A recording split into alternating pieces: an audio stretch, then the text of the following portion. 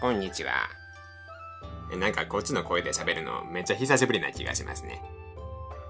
今日は小ネタを一席お付き合いいただこうかと思います。韓国の俳優さんやドラマのことを韓流と書いて韓流と呼ぶことがあります。韓国も日本も漢字文化圏であって、日本語で漢と読むこの漢字を韓国語では韓と読むわけです。実は日本語のようにこの字を漢と読む言語は東アジアでも少々珍しいんです。ここに日本語の歴史における K と H をめぐるドラマが秘められてますね。第1章、音の仕組み。本題に入る前に、ちょっと言語の音の仕組みについて軽くお話ししておきたいと思います。一般的に我々日本語話者は、英語の R と L の聞き分けが苦手と言われています。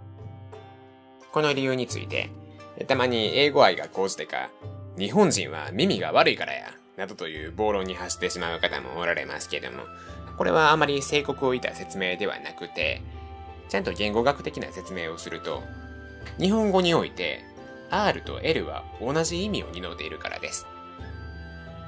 例えば、老人という単語を、老人と発音しようが、老人と発音しようが、老人と発音しようが、日本語の音のシステムにおいては、同じ、老人という単語を意味しますよね。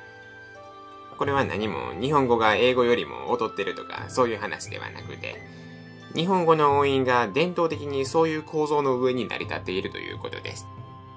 これを言語学の言い方では、日本語において R と L は同じ音素であると言います。また、韓国語話者が日本に来て、金閣と銀閣の発音の区別に苦労しはったという話も耳にします。これもですね、韓国語において K と G は同じ音素やからです。その言語にはその言語の音の仕組みがあるわけです。そのことを頭の片隅に置いていただいて本題に参りましょう。第2章、波行の歴史。昔の日本語には H の音はなかったと考えられています。奈良時代頃の発音では、波行はパ、ピ、プ、ペ、ポであったと言われています。プルピテパケネコエにてイピチェリとこんな感じの発音です。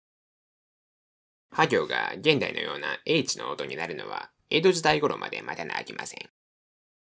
厳密にはね、逆に弥生時代頃まで遡ると H の音が存在したという話もありますねんけども、それについてはまた別の機会に。少なくとも漢字が日本語の文字として体系的に導入された時代においては、日本語に独立した H という音素はまだなかったわけです。その一方で、漢字の輸入元である古代中国語の音韻体系には H の音素が存在しましてん。第3章、H と K の関係。さて、ここで先ほどのお話を思い出してください。英単語を日本語読みする場合、right も light もどちらもライとと読みますよね。日本語の伝統的なシステムに合わせて読むとこのようになるというお話でございました。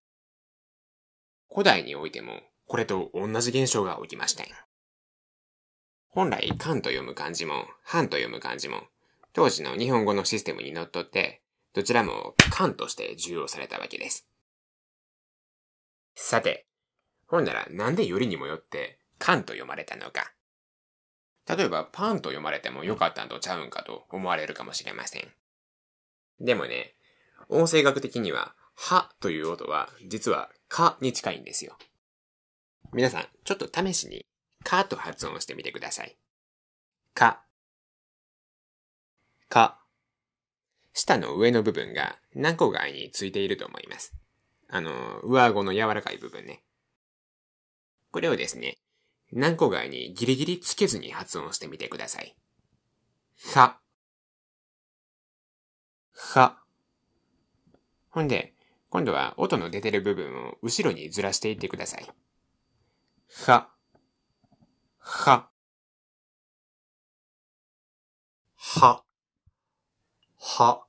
はになりますやろ。当時の日本語の音の中で最も H に近かったのは K やったんです。さっき言ったパーはね、両親破裂音言うてちょっと遠いんですよ。唇使いますさかいね。パーは。